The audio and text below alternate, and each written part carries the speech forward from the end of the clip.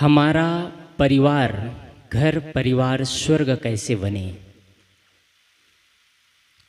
अभी तक आपने सुना है कि स्वर्ग मृत्यु हो जाने के बाद मिलता है। स्वर्ग मृत्यु हो जाने के बाद सिर्फ़ एक पेन और कागज़ से या प्रिंट से लिखा जाता है, मिलता नहीं है। मृत्यु होने के बाद किसने स्वर्ग को देखा है? आज तक किसी ने नहीं देखा है। सिर्फ़ एक कल्पना है। इसलिए जीते जी स्वर्ग को, को देखना चाहते हैं और स्वर्ग और आनंद से जीवन जीना चाहते हैं। आप उसके निर्माता है। आप उसके निर्माता है। शुरुआत आपको करना है। अपने जीवन को आपको बदलना है। अपने व्यवहार को आपको बदलना है। यदि आपका व्यवहार सुंदर है तो आपका घर स्वर्ग बन जाएगा। घर स्वर्ग बनता है व्यवहार से, आचरण से, मधुर वाणी से। पैसा से घर स्वर्ग नहीं बनता है। क्यों कह रहा हूँ? जिसके पास बहुत पैसे हैं, वो भी रात में सोते हैं तो करवटें बदलते बदलते रात बीत जाती है, नींद नहीं लगती है। और जितने भी मेडिकल में जो नींद की गोलियाँ बिकती है, वो बड़े लोग ले जाते हैं, गरीब लोग नहीं ले जाते हैं। दिल्ली जैसे शहरों पे चले जाएँगे जुग्गी झोपड़ी में रहते हैं, रोड में रोड में, नेशनल हाईवे में, बगल में सोए रहेंगे, रात भर गाड़ियाँ चलती रहती है, भर भर की आवाज़ आती रहती है। लेकिन जब रात में सोते हैं तो सीधा सुबह उड़ते हैं, करवटे बदलते नहीं रह जाते हैं। लेकिन जिसे हम पढ़े लिखे लोग कहते हैं, समझदार कहते हैं, पैसे वाले लोग कहते हैं, जिसके पास रहने के लिए मकान है, कपड़ा पहनने के लिए कपड़ा है और भोजन के लिए अन्न की व्यवस्था है पूरी। वैसे लोग करवटे बदलते रहते हैं, नींद से उठने के बाद देखते हैं कि हम रात भर सो ही नहीं पाए हैं। अच्छी नींद की निशानी क्या है? अच्छी नींद की निशानी यह है, जिस बिस्तर में आप सोए रहेंगे, उस बिस्तर से सुबह उठेंगे तो उठने के बाद कोई आपके बिस्तर को देखे तो लगे महसूस हो कि इस बिस्तर में कोई नहीं सोए हैं। आपके बिस्तर पे सिकन नहीं आना चाहिए। और मैं अधिकतम ये चीज़ संतों में देखता हूँ मैं। एक बार बिस्तर बिछा देते हैं, बिस्तर पे सो जाते हैं, सुबह उड़ते हैं तो लगता है इस पर कोई सोया ही नहीं है। बिस्तर साफ़ सुथरा, सिकन नहीं। और कुछ लोग ऐसे सोते हैं बिस्तर पे सोएँगे, बेडशीट अलग किनारे चला जाएगा, तकिया अलग किनारे चला जाएगा, पैर अलग किनारे चला जाएगा रात भर करवटे राउंड मारते मारते बीत जाता है। नींद नहीं लगती है। नींद क्यों नहीं लगती है? दिन के उजाले में काम ऐसे करते हैं कि रात के नींद, रात में नींद नहीं आती है। एक कसौटी है ये। कसौटी है ये। दिन के उजाले में काम ऐसा करिए कि रात को मुँह छिपाना ना पड़े। और रात में आप सोए तो एक बार में आपकी नींद लग जाए। आपके ऊपर है। आप यदि जीवन को बदलना चाहते हैं तो आपको सत्संग से ही जीवन बदला जा सकता है। घर स्वर्ग कैसे हो? घर स्वर्ग बनता है आपस के व्यवहार से। मन के कटुता को हटाने से। गुरुदेव जी कहा करते थे, अपने मन को रुई की तरह ढूंढ डालो। रुई को ढूँढने के बाद में उसका गर्दा गुब्बार नीचे चला जाता है और उसका जो रुई है वो हल्कापन ऊपर आ जाता है। यदि घर में परिवार में टकराहट का संभावना हो रहा है, एक दूसरे में मन मोटाव हो रहा है तो विचारों में परिवर्तन चाहिए। जिस घर में, जिस परिवार में आपस में भाई भाई, देरान, जेठान, सास, बहू एक साथ मिल करके एक साथ मिल करके दोपहर का भोजन किया जाता हो। मानो उस घर में रोज होली का त्यौहार है। और जिस घर में भाई भाई आपस में, देरान जेठान, सास बहू आपस में एक जगह सभी लोग खेत से, खलिहान से, ऑफ़िस से, ड्यूटी से, दफ्तर से आने के बाद सभी लोग एक जगह इकट्ठा हो जाते हैं और इकट्ठा होकर के एक दीप प्रज्वलित करके माता पिता की आरती उतार लिया करते हैं। माता पिता के चरणों में मत्था टेक लिया करते हैं। और कुछ ज्ञान चर्चा कर लिया करते हैं। मानो उस घर में रोज दीपावली का त्यौहार है। आप लोग साल में एक बार मनाते हैं। आप लोग साल में एक बार दीपावली मनाते हैं। साल में एक बार होली का पर्व मनाते हैं। संत कहते हैं, नित अमावस, नित संक्रांति। रोज अमावस्या है, रोज संक्रांति का त्यौहार है। और जिस घर में खटखट चल रहा है, जिस घर में भाई और भाई में नहीं बढ़ रहा है, देरान और जेठान में नहीं बढ़ रहा है, उस घर में दीपावली को भी दीपावली का त्यौहार नहीं मनाया जाता। उस घर में होली के त्यौहार में भी होली का त्यौहार नहीं मनाया जाता।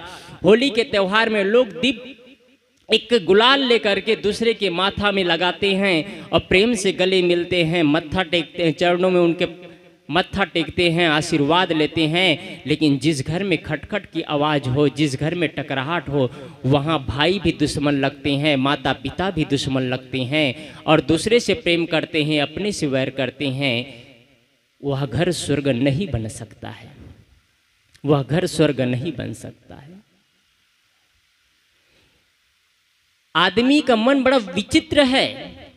जब समुद्र में लहरें आती है, समुद्र में ज्वार भाटा के रूप में लहरें पानी आती है तो नज़दीक के गड्ढों को भर के लबालब करते हुए आगे बढ़ता है पानी।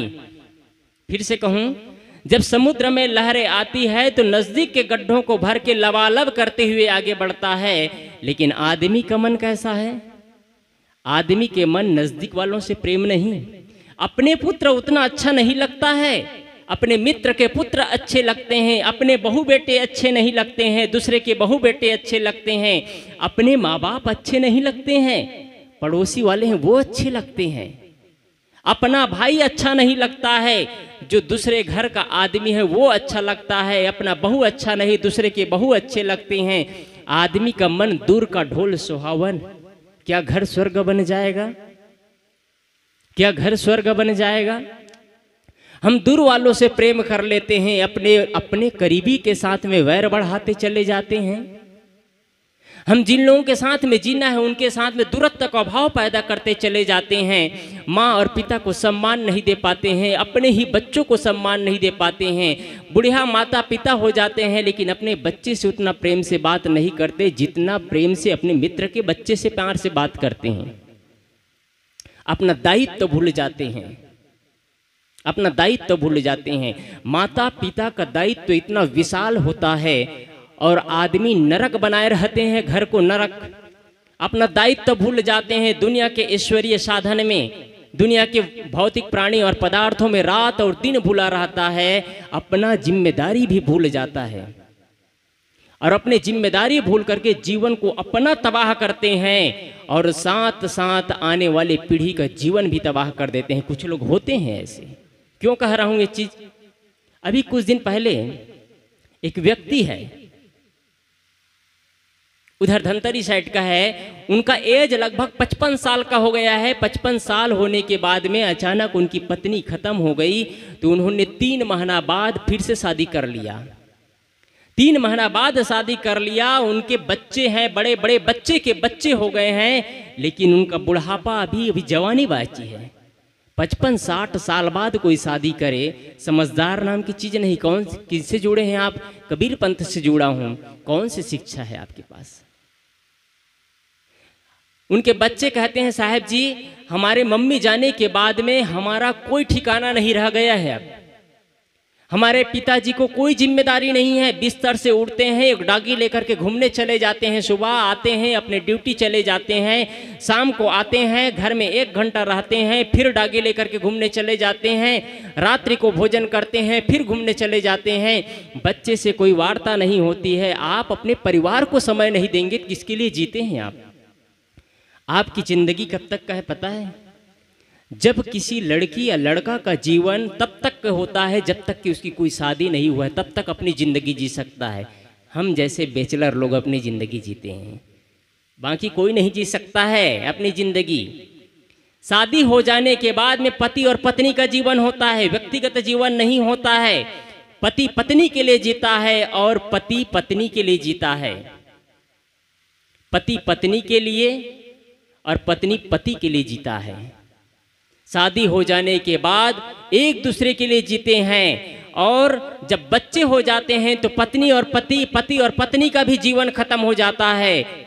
सिर्फ़ बच्चे के लिए जीते हैं ओनली बच्चे के लिए जीते हैं। बच्चे का ध्यान रखते हैं, बच्चे का लालन पालन करते हैं, बच्चे को शिक्षा देते हैं और कुछ माँ बाप होते हैं जो अपने दायित्व से वंचित रह करके अपने बच्चे को महत्व नहीं देते हैं। अपनी दुनिया के ईश्वरीय दुनिया की वासनाओं में आज भी भेड़िया दशान जीवन को नरक बनाए रहते हैं।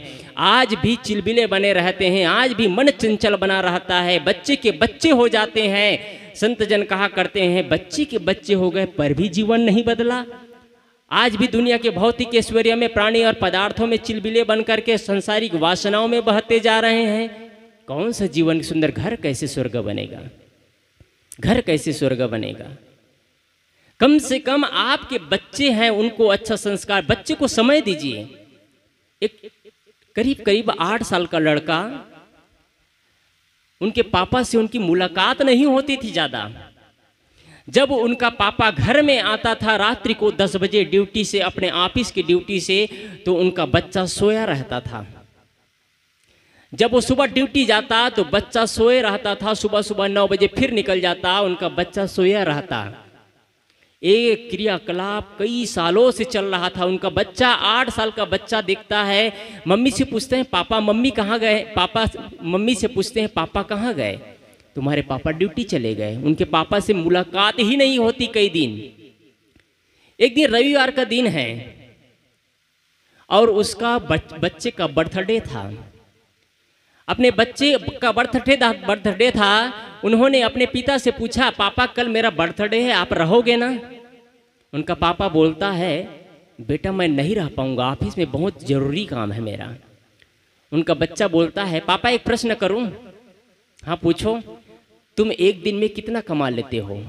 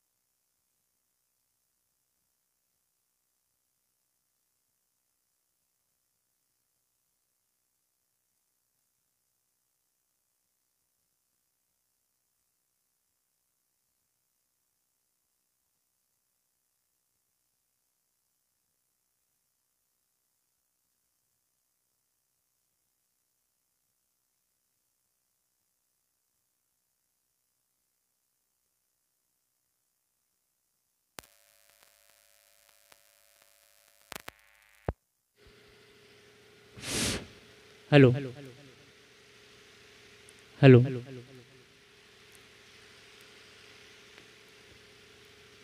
उनका बच्चा कहता है, पापा, तुम एक दिन में कितने रुपए कमा लेते हो? उनका पिता है, वो एक दिन में दस घंटा ड्यूटी करता है और एक हज़ार रुपये कमाता है। उनका बच्चा बोलता है, उनकी पिता बोलता है, तुमको क्या मतलब है कितना पैसा कमाता हूँ, कहाँ से लाता हूँ? तुम्हारी सारी व्यवस्था मैं कर रहा हूँ, तुमको पैसा से कितना कमाता हूँ, उससे क्या वास्ता है? बच्चा तो बच्चा, चुप हो जाता है। फिर से पूछते हैं, प्लीज़ पापा बता दो। कहते हैं, एक दिन में मैं एक हज़ार रुपये कमाता हूँ और दस घंटे की ड्यूटी में वो दस, एक हज़ार रुपये कमाता है। उनका बच्चा कुछ देर चुपचाप रहता है, उसके बाद में कहते हैं, पापा, मुझे पचास रुपये की ज़रूरत है, दोगे क्या? फिर उनका बच्चा, उनका पिता बोलता है, तुम्हारी सारी व्यवस्था मैं करता हूँ, जो चाहिए सब कुछ मैं लाता हूँ, तुम पैसों को क्या करोगे? बच्चा तो बच्चा चुप हो जाता है और अपने कमरे में चला जाता है। कुछ देर बाद उनके पिता को लगता है, मैं बच्चे को फालतू डांट दिया। वो बुलाता है प्यार से और कहता है, लो पैसा। वो पचास रुपया निकाल करके देता है। उनका बच्चा अपना एक ढोलक रखा था, जिसमें पैसा डालते हैं, उसको क्या कहते हैं आप लोग, सिक्का सिक्का? वो रखा था, वो ला करके गुल्ला रखा था, ला करके अपने पापा के पास तोड़ता है। और अपने पापा के पास तोड़ता है, उनके, उनका बच्चा कहता है, उनका पापा कहता है, तुम्हारे पास ऑलरेडी पैसा रखा है, तुमने पैसा क्यों मांगा? वो पैसा इकट्ठा करता है और जोड़ करके उनके पास में दो सौ रुपया हो जाता है। अपने पापा के पास जा करके कहते हैं, पापा आपको मैं दो सौ रुपया दे रहा हूँ। आपका मैं दो घंटा लेना चाहता हूँ। आपका मैं दो घंटा लेना चाहता हूँ। आज का लंच मैं आपके साथ बैठ करके करना चाहता हूँ। क्या आप मुझे दो घंटा समय देंगे? उनका पापा बोलता है, बेटा, दो घंटा क्या मैं तुम्हारे लिए जीवन भर समय देने के लिए तैयार हूँ? बताओ कहाँ जाना है? उनका दिमाग का ठिकाना आ जाता है। क्यों? आप अपने बच्चे के लिए आपके पास समय नहीं है? आपके माँ बाप के लिए आपके पास समय नहीं है। आपके पास डॉगी चलाने के लिए, डॉगी को घुमाने के लिए समय है। आपके पास मोबाइल चलाने के लिए समय है। टीवी देखने के लिए समय है। सिर्फ़ पैसा कमाने के लिए समय नहीं है। जिनके लिए आप जीते हैं, जिनके लिए आप पूरा जीवन का हर कमाई, पाई पाई जोड़ करके इकट्ठा करते हैं, उन बच्चों के संस्कार के लिए आपके पास समय नहीं है। क्या आपके बच्चे स्वर्ग का जीवन जिएँगे? क्या आपके बच्चे संस्कारी हो पाएँगे? आपके बच्चे आपसे, आपके साथ जीना चाहते हैं, आपके साथ रहना चाहते हैं, आपसे प्यार करना चाहते हैं, आप ही अपने बच्चे को किनारे कर देते हैं। कैसे आपके बच्चे संस्कारवान होंगे? कैसे आपके घर स्वर्ग से स्वर्ग बनेगा? आप ही महसूस करिए। जिस घर में बच्चों को प्यार नहीं दिया जाता है, जिस घर में माँ बाप का सम्मान नहीं किया जाता है, वह घर स्वर्ग से, स्वर्ग कैसे बनेगा? आप, आपको अपने ही घर को सजाना और संवारना है आपको। आपके अपने ही घर को सजाना, संवारना है, दूसरे की घर की बातें छोड़ दीजिए। घर बनता है, ईटी पत्थ, ईट से पत्थर से, चूना से, सीमेंट से बनता है, मकान बनता है, लेकिन घर बनता है, आपस के प्रेम से बनता है। आपस के प्रेम से बनता है। यदि घर टूटता है तो घर क्या टूटता है? मकान नहीं टूटता है, घर टूटता है, घर किससे टूटता है? गरीबी से घर नहीं टूटता है, घर टूटता है, आपस के प्रेम कम होने से। आपस के प्रेम कम होने से घर टूटता है और घर टूट करके बिखर जाता है। एक जगह नए नए लड़के युवक का शादी हुआ, उनकी पत्नी आई घर पे, पत्नी आई घर पे, देखा घर का सिस्टम ठीक नहीं है, ना सोफा सेट है, ना डाइनिंग सेट है, कुछ भी सही नहीं लेकर लग रहा है। घर में पुराना ढंग का मकान बना हुआ है। उनकी पत्नी कहता है, उनकी पत्नी कहती है ए जी, यहाँ रहने का मन नहीं करता है। यहाँ से हम लोग दूर चल करके शहर में रहते हैं। दूर चल कर के शहर में रहते हैं। उनके कहने पर उनका पति आता है और दूसरे जगह जाने की तैयारी कर लेता है। पूरा अपना कपड़े लित्ते, सब पूरा पैकिंग कर लेता है। इतना में घर का मुख्य बुज़ुर्ग दादाजी पूछता है, तुम लोग जाने की तैयारी कर रहे हो, कहाँ जा रहे हो? वो बोल नहीं पड़ता, बोल नहीं पाता है। उनकी ननंद बोलता, बोलती है, दादाजी हमारे भाभी जी को हमारे घर का सिस्टम पसंद नहीं है। घर में न सोफा सेट है, न डाइनिंग सेट है, न बाथरूम अच्छा बना है, न घर में रंग रंगन हुआ है। पुराना ढंग का घर है। उनका पिता, उनका दादाजी कहता है, इतनी छोटी सी बात को घर को तोड़ करके रख दोगे? इतनी छोटी सी बात हम सब कुछ तो नहीं कर सकते, लेकिन अभी हम बहुत कुछ कर सकते हैं। और घर का अपना मालिक है, वो घर का चाबी, अपने तिजोरी का चाबी निकालता है और अपने बहू और बेटे को दे देता है। तुम जैसा बनाना चाहते हो, घर को बना लो, लेकिन घर को टूटने से बचा लेना, घर नहीं टूटना चाहिए। आप पैसे को महत्व दोगे तो घर टूटेगा, और धन को महत्व दोगे तो घर टूटेगा, जन को महत्व देंगे आप लोग तो आपका घर बना रह जाएगा। आपका घर बना रह जाएगा। घर बनता है आपस के प्रेम से। प्रेम से। और प्रेम, मैं उस दिन भी कहा था, यदि प्रेम सुखता है तो घर टूट करके बिखर जाता है। जैसे पानी सूखने से पेड़ सूख जाता है, वैसे ही प्रेम कम होने से, घर परिवार के लोग आपस का प्रेम कम होने से, एक दूसरे में वार्ताएँ कम होती है, घर टूट करके बिखर जाता है। और घर ही नहीं टूटता है। पूरे परिवार के नक्शे बदल जाते हैं। पूरा आपस का प्रेम छिन जाता है। घर में कहना चाहिए, सूना पड़ जाता है घर। जिस घर में हँसी और खुशी होनी चाहिए था, जिस घर में एक दूसरे के चेहरे पे मुस्कान होना चाहिए था, वह घर सूना दिखाई देता है। क्या ऐसे में घर स्वर्ग दिखेगा? जिस घर में माता पिता हो, आपस में सास बहू हो, देरान जेठान हो, आपस में एक दूसरे के चेहरे पे मुस्कान हो, बड़े को सम्मान दिया जाता है, वह घर स्वर्ग बनता है, वह घर स्वर्ग बनता है। इसलिए आप लोगों से मैं निवेदन करना चाहूँगा कि आपस का प्रेम इतना अच्छा हो, धन को महत्व मत दीजिए कभी कभी आपके परिवार में लगता है कि मेरे बिना बोले घर का माहौल अच्छा हो सकता है तो कभी कभी आप मौन होकर के भी साधना करिए। कभी कभी लगता है कि मेरी गलती नहीं है, पर भी मुझे गलत माना जा रहा है। अपनी गलती को स्वीकार लीजिए, आपका घर घर बन जाएगा। कभी कभी लगता है कि मेरी बहन है, मेरी देरान है, मेरे जिठान है, मेरे सास है, मेरे ससुर है, मेरे से बात नहीं कर रहे हैं, मेरी कोई गलती नहीं है, पर भी आप झुक जाइए। आप बड़े होते हैं, आप घर के बहू हैं, आप घर के मुखिया हैं, आप घर के छोटे बहू हैं, आप घर के मालकिन हैं, आप घर के सासू माँ हैं आपका कर्तव्य बनता है रिश्तों को बरकरार रखने के लिए कभी कभी अपनी गलती ना होते हुए भी झुक जाइए और अपने से बात करना शुरू कर दीजिए। मैं कल भी कहा था, झुकता वही है जिसमें जान होती है, अकड़ना तो मुर्दों की पहचान होती है। हम समझदार लोग हैं, पढ़े लिखे लोग हैं, और आपस में आज भी टू तू मैं मैं कर रहे हैं, आपस में आज भी लड़ रहे हैं, बच्चों के सामने लड़ रहे हैं। कैसे बच्चे संस्कारवान होंगे, कैसे घर परिवार स्वर्ग बनेगा?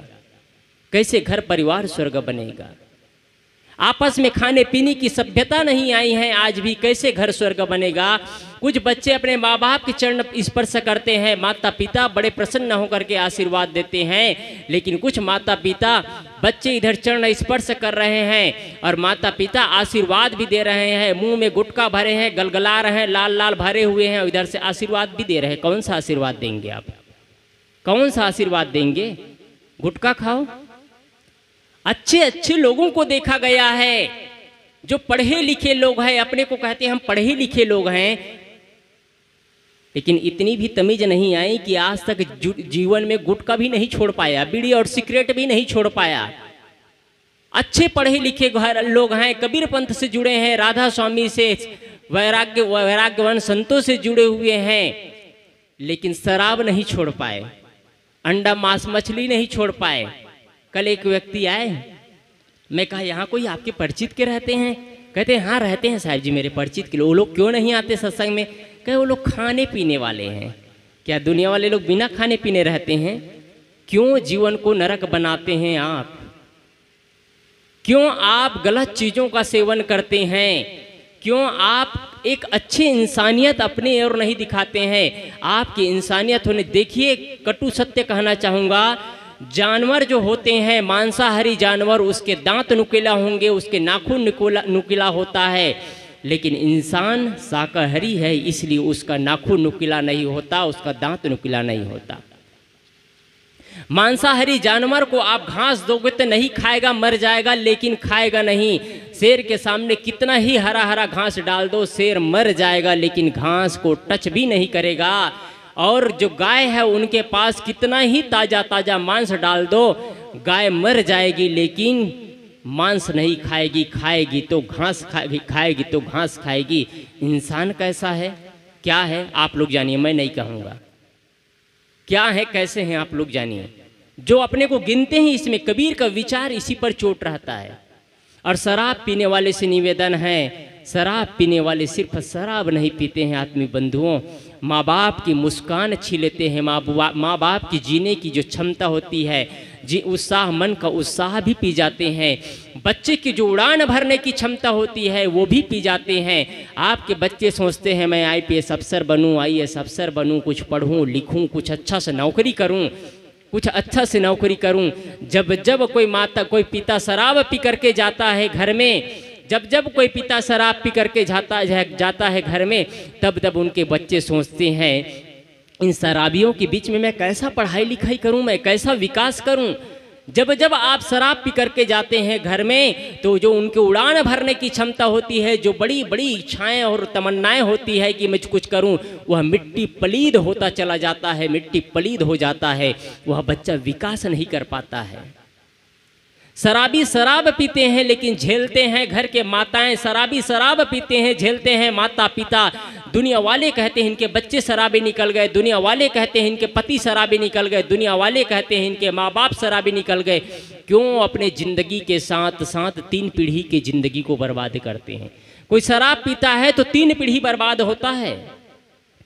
अपना जीवन तो बर्बाद करता है। बच्चे के जीवन को बर्बाद करता है, अपने माता पिता के जीवन को बर्बाद करता है और साथ साथ अपना जीवन बर्बाद करता है। आत्मीय बंधुओं, अपने बच्चों से प्रेम करना सीखिए, अपने बच्चों से प्रेम करना सीखिए, अपने माँ बाप से प्रेम करना सीखिए। कल भी इस पर मैं खास इस पर बहुत कहता हूँ कि माँ बाप का सम्मान करना सीखिए। एक जगह कोई संत कहे थे, कोई जगह है या कहाँ है, याद नहीं आ रहा है।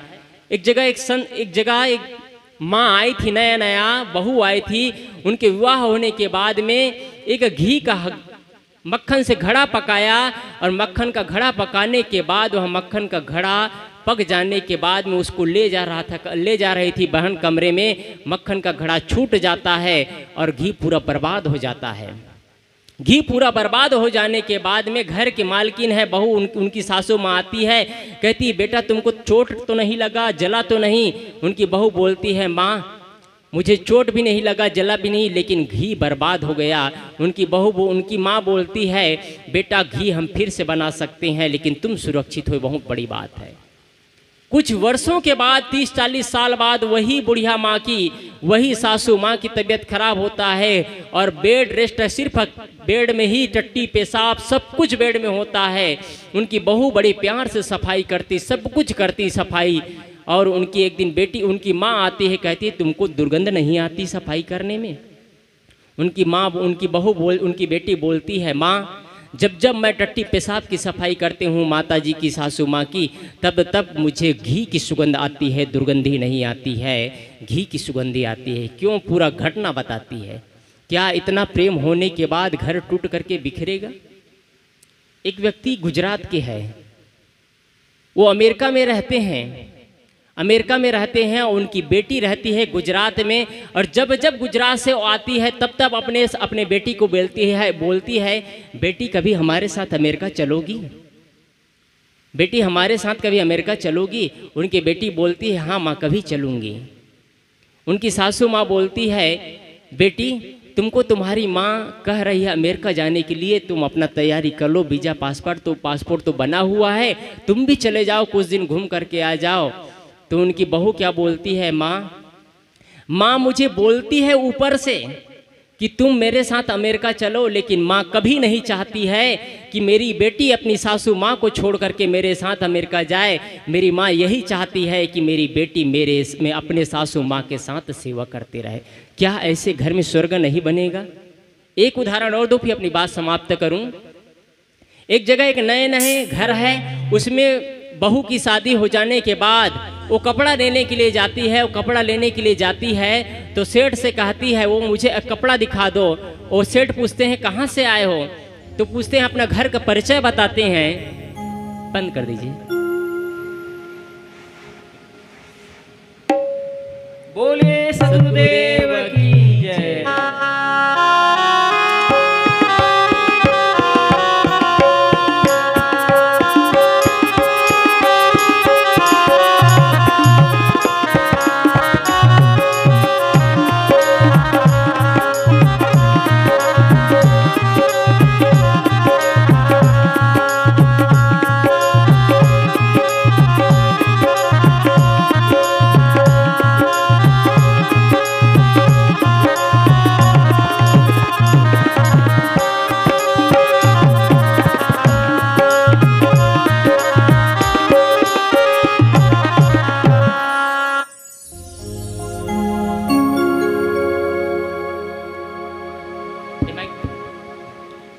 मैं कह रहा था, वो बेटी कपड़ा लेने के लिए सेठ की दुकान में जाती है और सेठ उनका परिचय पूछते हैं, मैं इस घर से आया हूँ, बताती है, बताने के बाद कपड़ा दिखाते, सेठ दिखाते हैं तो कहते हैं, इतने का कपड़ा पहले दिखाते हैं, दस हज़ार का, फिर आठ हज़ार, चार हज़ार छः कम होते होते दो हज़ार। कहते हैं, वो घर के बहू बोलती है, सेठ जी, इससे कम का कपड़ा नहीं है।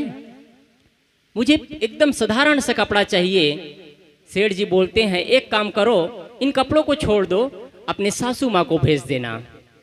उनकी सासू माँ आती है दुकान में और सेठ जी से कहते हैं, मुझे कपड़ा दिखा दो। सेठ जी कपड़ा दिखाते हैं, चार हज़ार छः हज़ार, आठ हज़ार, दस हज़ार, उनकी घर की सासू माँ बोलती है, इससे अच्छा कपड़ा नहीं है आपके पास? वो अच्छी से अच्छी कपड़ा खरीद करके, साड़ी खरीद करके ले जाती है और ले जा करके अपने बहू को देती है। उनकी बहू बोलती है, माँ, मेरे पास कपड़ों की कमी नहीं है। मेरे पास में ढेर सारे कपड़े हैं। लेकिन इतने महँगे कपड़े क्यों लाए हैं? मुझे साधारण सा कपड़ा चाहिए था। घर में रहती हूँ तो बस उस समय यूज़ करने के लिए साधारण सा मुझे कपड़ा चाहिए था। इसलिए मैं साधारण सा कपड़ा ले रही थी। लेकिन सेठ जी, आपको भेजने का है, लेकिन आपने इतने महँगे कपड़े क्यों लाए? सासू माँ क्या बोलती है? सासू माँ बोलती है, बेटी, महत्व तो कपड़े का नहीं है, महत्व तो तुम्हारा है। तुम अच्छे कपड़े पहनो, अच्छे रहो, अच्छे जीवन जियो, इसका महत्व है। पैसा तो आएगा और चला जाएगा, इसका कोई महत्व नहीं है। क्या ऐसे घर में स्वर्ग नहीं होगा?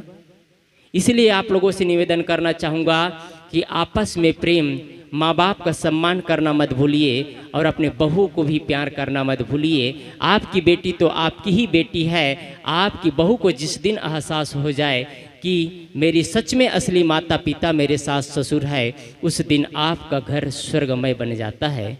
बस इतना कहकर अपनी वाणी को विराम देता हूँ। बोलिए, सदगुरुदेव की। जय।